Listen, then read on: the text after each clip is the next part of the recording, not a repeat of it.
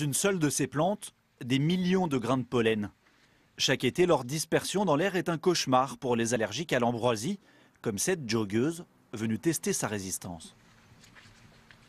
Là, ça me fait rien du tout, mais quand c'est quand je rentre, je rentre le soir chez moi, alors j'ai les yeux qui coulent, j'ai le nez qui, est pris, euh, et puis bon, bah, ça, ça, on est mal. La gorge aussi. La, gorge, le nez, euh, tout. ouais.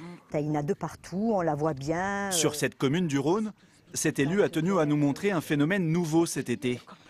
La sécheresse du mois de juillet a fortement limité le développement de l'ambroisie, sauf sur les parcelles arrosées, comme ce champ de maïs où elle prolifère. Sur des terrains privés, la commune ne peut pas grand-chose.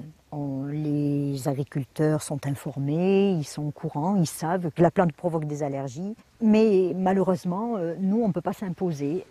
La concentration des grains de pollen d'ambroisie dans l'air est mesurée dans ce laboratoire spécialisé dans la surveillance aérobiologique.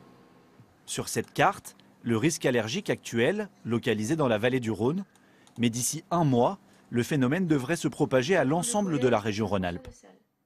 Voilà, terrain vague, chantier, très bien. La lutte contre la prolifération de l'ambroisie passe d'abord et avant tout par son signalement. Il n'y a que comme ça qu'on y arrivera, parce que c'est vrai qu'elle a tendance à se développer facilement. Elle, peut, elle est transportée par l'homme euh, d'un endroit à un autre, euh, mal- malgré euh, l'homme lui-même. Et donc, bah, le, voilà, le moyen de contrecarrer ce développement, c'est l'arrachage.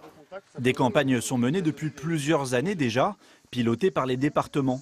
Il faut dire que le traitement des allergies liées à l'ambroisie coûte cher, 15 millions d'euros l'an dernier en Rhône-Alpes, un coût sanitaire qui ne cesse d'augmenter.